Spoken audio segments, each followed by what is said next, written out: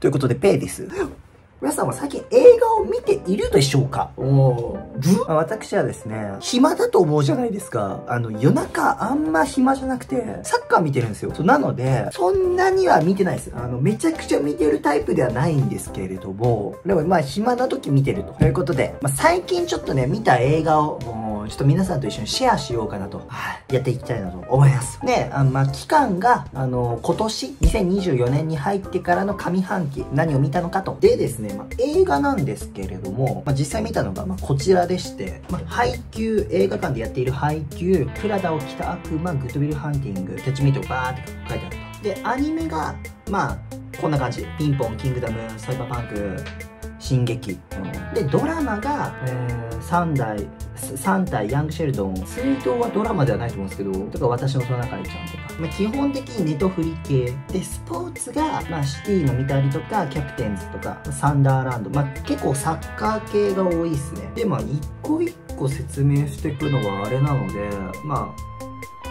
ティティティア？まあランキング形式的なもうちょっと作ってまあ印象深かったやつを喋っていこうかなと。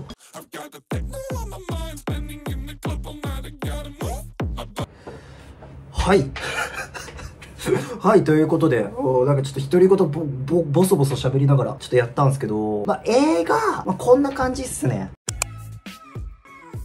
おまあこんな感じでして、まあ一個一個ちょっとは、一個一話さないから、まああの、かいつまんでちょっと話していこうかなと思うんですけれど、まず一番最近見た映画が、バービーだったんですよ、バービー。ね、ババービーってさ、今年やってたのが、まあ今年とか去年ぐらい。まあ結構最近、ほんとね、多分見た映画の中で一番最近にやったんじゃないかな。いや結構話題だったじゃないですか。話題だったんですよね、バービー映画やるっていう。うん、で、まあちょっと気になってはいたんですよ。あのね、見たら、あのー、クソつまんなくて。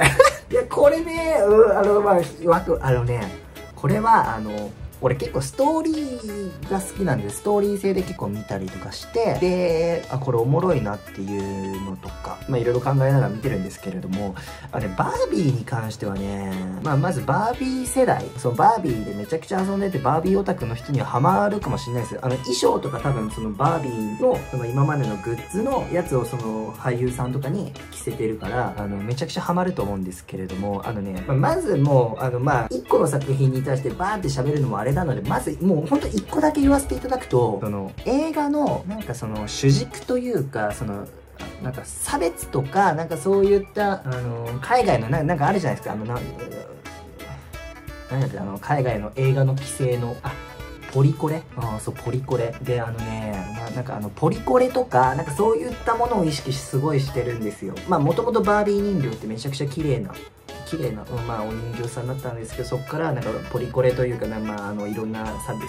ス、やつも入れて、そう、だから、妊娠してる人形とか、黒人の人形とか、その、手足短い人の人形とかも、なんか作りましょうみたいな、そういったものが強くて、で、まあ映画にもそういうのが反映されてて、で、映画の監督が女の人で、うん、まあなんか話がぐちゃぐちゃなんですけど、そもそも、最後の最後ね、最後の最後、その、まあ結末を言いますよ。結末、まあこれ、み見る人は見てください。あんま話の内容と関係ないので。最後の最後ね、バービーが産婦人科に行くのよ。で、産婦人科で受付をするっていうオチで終わったの。ね。よくわかんなかった。んどどういうこと？みたいな。え、妊娠したの？誰かとやったの？って思ったんですよ、最後ね。そのバービーのその主人主人公の女の人。そしたらなんかその監督が言うには、いや、バービー人形は生殖器がないので、ネタですよ。っていう。なんなん？いや、ね、めちゃくちゃ話がつまらない中で最後それやられてなんなんてちょっと切れ出して、そうなんか、ポリコレにめちゃくちゃ意識してるくせにそういうネタやるのちょっとほんとずれてるなと思いました。うんで、七番棒、あ七番棒の奇跡はですね、正直、あの、めちゃくちゃ、うんまあまあまあ、ちょっとつまらなくて、俺の中で。で、まあ、七番棒の奇跡もな、なんかっていう感じでした。でですね、まあ、トイ・ストーリー4、トイ・ストーリー4は、まあ、トイ・ストーリーシリーズの中でも一番ダ作だって言われてってるそういったなんか評価をされている作品らしいんですけれども、まあ、見たらちょっとなんか分かった。ね、みんなが怒ってること、そう今までトイ・ストーリーが伝えたかったこととはなんか別のなんか結末なんですよ。ね、なんかそれでなんかその、まあ、ちょっと怒ってる人がいて、まあ、実際に見てみたら、その、ああまあ批判されてる理由はここにあるのかと。で、タグ。そのタグっていう映画なんですけど、これはね、なんかその、実際にアメリカ人かなんかかな、なんかその実際にいたグループで、人生をかけてあの鬼ごっこをしていると。なんか鬼ごっこして本当もう全力で鬼ごっこしててでそれを実写化し実写化、まあ、映画化した作品なんですよ。で結構その話の内容というかなんかおもろそうじゃないですか。人生人生をかけて本当に全力の鬼ごっこをしてるみたいな。いやめちゃくちゃおもろいなっていう内容なのに蓋を開けてみたらその映画的にななんかちょっとアクションというかなんかそのちょっとキザっぽい。演出がちょっとひどかったかな。であとメアリー。メアリーはね。なんかメアリーもなんかセリフの一個一個にちょっとうんってなんか引っかかるような。なんか俺の中のそう本当これ個人的なやつなので。個人的なやつなのであんま気にしないでいただいた方がいいんですけど。メアリーはちょっとねなんかそのひ、うん、まあやっぱ引っかかるところその映画グダーって見ててもなんでこういう切り返しの返答するんだろうみたいなちょっと引っかかる点が多かったんですよだから話がスッと入ってこなかったみたいなで、続きまして C ランク。まあ C ランクくらいからね、あのもう普通におもろかったっすよ。うん。まあ C、B、A、S はもうほんとおもろかった。で、まあ、C ランクのね、あの、これ、ホームアローンだと思うじゃないですか。ホームアローン2なんですよ。そう。俺、ホームアローン1を、1というか、まあ、ホーム、ホームアローンを、まあ、実際去年のクリスマス見たんですよ。で、金曜ロードショーで昔からね、ちょくちょくホームアローンって流れてるじゃないですか。で、俺も小学生ぐらいの時、ホームアローン見ておもろかったの。だから、大人になってホームアローン見たらどうなんだろうと思って見たらめちゃくちゃ面白くて、ホームアローン。ちっちゃい頃はね、ホームアローン見てたらなんか家の中でおもちゃとかなんかいろいろ罠仕掛けて、泥棒さんをなんか撃退するみたいな、わあ、おもろいみたいな感じで映画を見てたんですよ、ちっちゃい頃は。ただ、大人になってみると、あ、美しい、ほんと綺麗な話の流れやなっていう、うん、そういったものがあったんですけど、まあ、ホームアローン2はちょっと1よりか劣りましたね。うん、正直。ちょっと、うん、ちょっと劣りました。で、メメント。そう、メメントは、うん、ちょっとむずい。だけど、もうね、もうほんともう C ランクからほんとおもろいんですけど、メメントに関してはちょっと難しいんですよ。話がね。ただ、なんか予想外の結末というか、あ、こういうことかと。こういうことかっていうのあるんですけど、やっぱもう何、何回か見ないとね、ちょっとわからなかったので、まあ、ちょ、っとね、うん、ただまあ、本当考察好き勢にはめちゃくちゃ面白い。で、ワンダーはですね、まあ、病気の子がそのなんか学校に通うみたいな感じの話で、まあ、あの子供たちの中でのそのまあ、いじめを回避したりとか、まあ、いろいろまあ、そういった話があって、まあ、結構ほんとおもろいですね。で、ファザーフットは、あの、男で一つで、男で一つ男で男で一人でもう子育てをするっていう、まあ、そういった作品でして、まあ、これも普通に面白かったですで、まあ、あの、B ランクいきますと、えー、スター・ウォーズ。スター・ウォーズはね、ほんとね、あの、なんかキャラクターがね、おもろいっすね。そのなんか出てくる、その、なんか宇宙規模じゃないですか。宇宙でなんか惑星、この惑星行ったらこういった人種がいてとか、こういう人種いるんだみたいな。うん、そういうのを見るのおもろいですね。で、リトルダンサーなんですけど、まあ、リトルダンサーは、なんかあの、すごい、あの、イングランドかな？イングランドかどっか、まあ、ニューカッスルっていう地名が出てたんで、まあ、イングランドだと思うんですけど、の、なんか、めちゃくちゃ田舎な、田舎のところで、ほんと田舎ど田舎で、なんかまあ、男はこういう仕事するだろう、女はこういうことするだろう、みたいな、そういったまあ差別系？差別差別というか、まあ、あの時代は当たり前だったんですけど、その中で男の子がそのバレエにハマって、で、それでバレエでその、大舞台に出たいと。っていう、なんかね、もうね、リトルダンサーはね、ちょっと、あの、うるっときますね。うるっとくる瞬間があってお父さんがね本当頑固というか、うん、頑固だったんですけどあのねちょっとうるっとする時がありましたでパルプフィクション。パルプフィクションは本当なんか、まあ結構名作、まあここら辺あのね、あの、グリーンマイルとかもそうなの、まあ結構名作勢が、名作勢が多くて。で、まあパルプフィクションなんですけど、あのね、一回見た時なんか、うんって思ったんだ。まあまあまあまあ、あの、名作って言われてる割には、なんか弱いな。弱いなって思うんですけどなんか後からじわじわ来るというかあもう一回見て俺この中であいや難しいな、うん、まあまあただあのこの映画の中でもう一回見たい作品どれですか？3つ挙げてくださいって言われたらパルプフィクション選ぶと思います。まあ1個はねあの一番 S にあるやつなんですけど。で次にグリーンマイル。グリーンマイルねあのグリーンマイルは過去にねあの一回見たことあるんですよ。でもう一回見てやっぱこれは泣けます、うん、感動します。ただね俺ねあの映画見てて思うんだけどなんかその刑務所系多い。あと名作映画は刑務所が多いんだよね俺の中。俺俺の中ではね。続きましてこれはなんだっけ名前ワンダーライフかな。僕のワンダフルライフ。これねあのおもろかったですね。なんかあの普通さ人間の作品じゃないです。か普通人間人間の映画見るじゃないですか。人間とか、まあ、宇宙人とかまあいろいろスター・ウォーズあるんですけどあの犬系なんですよ。あの犬が主人公の映画を俺はあん見たことなかったんであんま。ただあのおもろいんかなって思ったらめっちゃおもろいこれ。これもうちょっと上でもいいかもしれないわ。僕のワンダフルライフ。あのね結構本当犬犬好きな人はあの見てほしい。普通なんかフラットな気持ちで見たらえめっちゃおもろい。ってなってあの2時間ぐらい経つと。で続きましてジョーカー。ジョーカーね。おもろいね。いやもうね B ランクはねほんと普通におもろい。うんジョーカーはねなんかその最後あれこういう結末なのかなっていうそのなんか考察の余地がめちゃくちゃあるしでもそのなんか人間の闇というかそういったものをなんかそのうまく出してる作品。でジョーカー2がなんかね、やるらしいんですよ。めっちゃ楽しみです。で、あとこれが、プラダを着た悪魔オープニングちょっとおしゃれ。もうめちゃくちゃおしゃれです。で、まあ、あの、服とか、まあ、そういったものが興味ある人は本当おもろいと思うし、その中でどうやって生活、あその、生き抜いていくかみたいな。もう本当変わってくるんですよね、主人公が。変わって変わって最後、こうなるんかいっていう。で、続きまして、あの、配給の映画。これね、映画館で見たんですよね。この中で唯一映画館で見たかな配給はねまあ普通にもう確約されてたもうね。あの原作も知ってて映画館に行ったら映画館特典のねなんか俺はしょあの映画館の特典の最最初のねこれを手に手に入れるために来たみたいな感じも結構あるんですけどこれを手に入れたりとかして普通におもろかったっす。で俺これね最近の映画に言いたいんだけどなんか映画って高くなりましてね。ほんと1400円ぐらい大人。1400円1500円ぐらい。あの手軽に行けないじゃん。そう俺ね思うんだけど映画館って手軽に行けなくなったからじゃあ絶対におもろい配給とか、まあ、今度行くんですけどだけど忘れちゃった。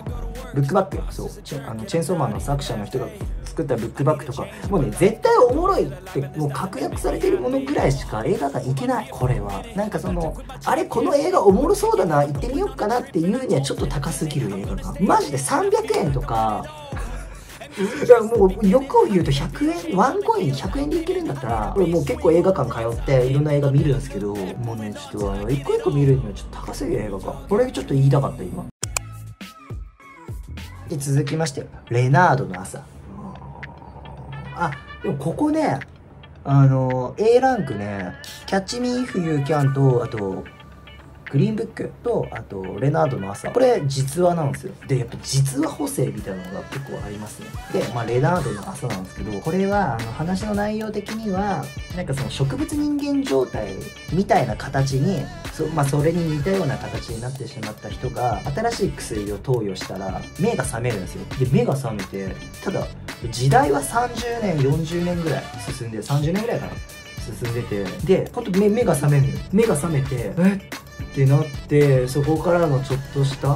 本当ねこれはまあちょっと深くは言わないですよあの本当あの A ランクに関してはまだ A ランク S ランクに関してまあ B ぐらいからかなまあ、スター・ウォーズちょっと長いんであれなんですけど、スター・ウォーズの配給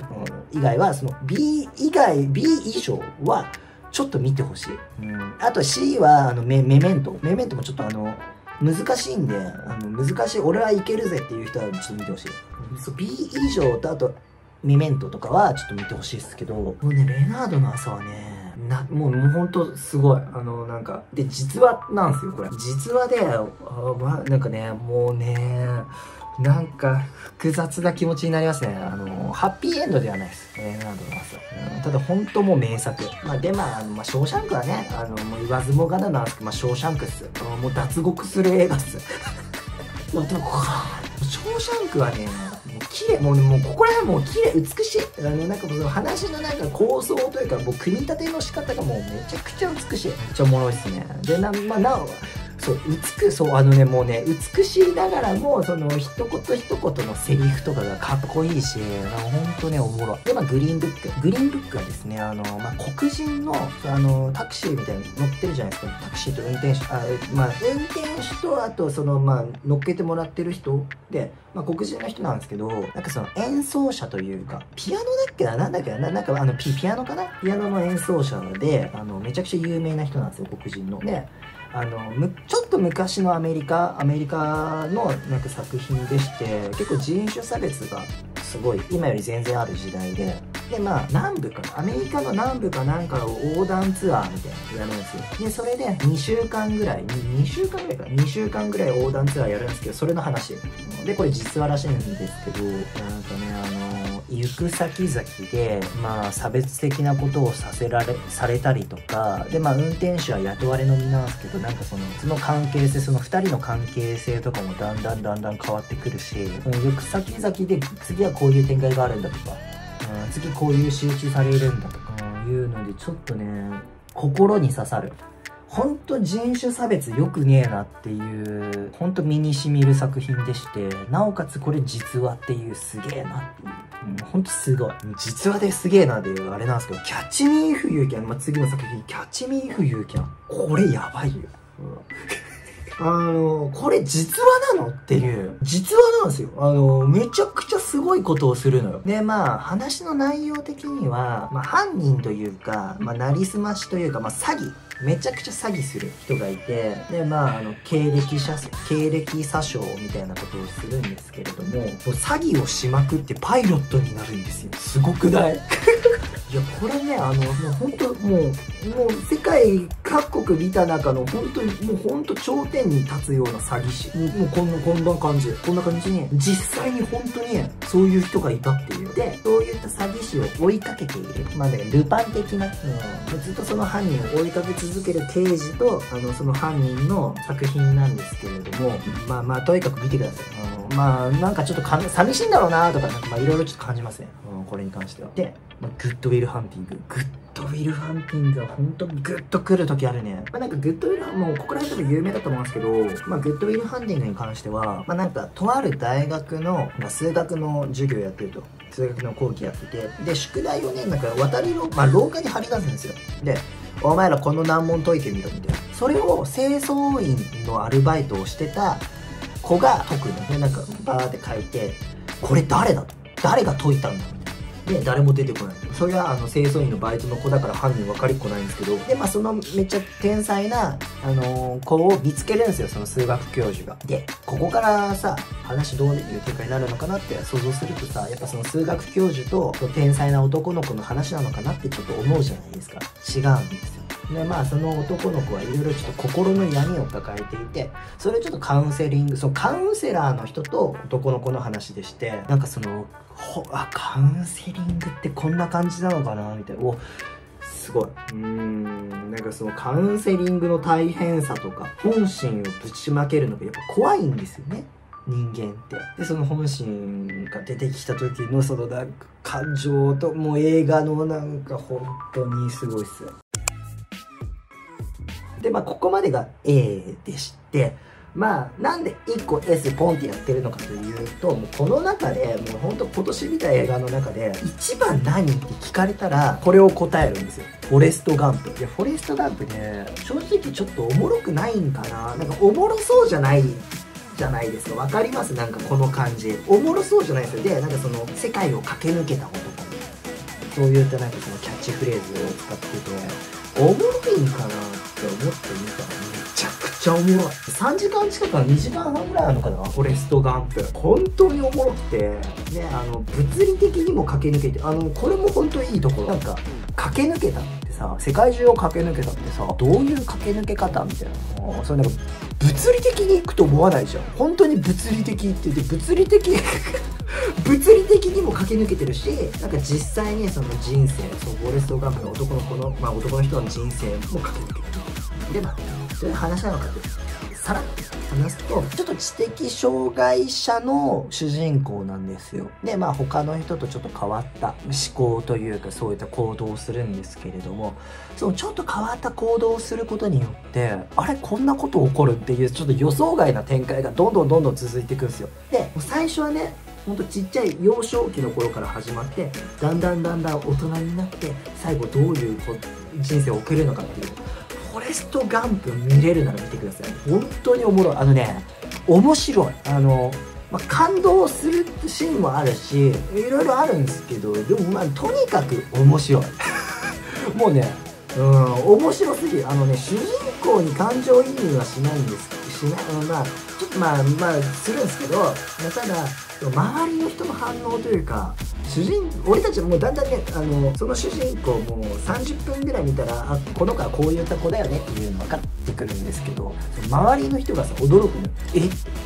でもこの子はこういうことするよなって俺たちが見てて。で実際そういうことしててそれなんか周りがなんかいろいろ思っているもうとにかくそうなんかうんね。これがですね私の最近見た映画ですね。でまあさらっとねあのアニアニメアニメはですね一番最近最近見たのがヴィランドサガかな。ヴィランドサガ見てこれねキングダムとちょっと似てるんですけどまあまあおもろくもうねあのここは全部おもろい。かなおもろかった気がするであとドラマはですねやっぱブラッシュアップライフが結構印象に残ってるかななんか日本のドラマね俺あんまハマらないんですけどブラッシュアップライフに関しては本当おもろかったっすめちゃくちゃおもろい。で、あとまあスポーツ系を見たという、うん、感じですね。まあ次のね、あのー、最近見た映画、2024年下半期は多分来年になるのかな。まあ来年どんぐらいの作品を見てるかわからないんですけど、まあこれ以上ちょっとね、あの、映画見れたらなというのはちょっと思ってますね。ということで、えー、パンチパンダの最近見た映画でした。まあ皆さんもね、あの、なんかこれおもろかったよっていうのがあれば、あの、コメント欄とかで書いていただければな。俺ね、ちょ、ホラー系はちょっと苦手なのよ。それやっぱ、あの、ヒューマンドラマ系が結構好きなので、ちょっとまあそういったのを主にちょっと書いていただければなと。ホラー系はちょっとね、苦手なんですよ。ということで、えー、パチパチでした。じゃあ、また次の動画でお会いしましょう。おつ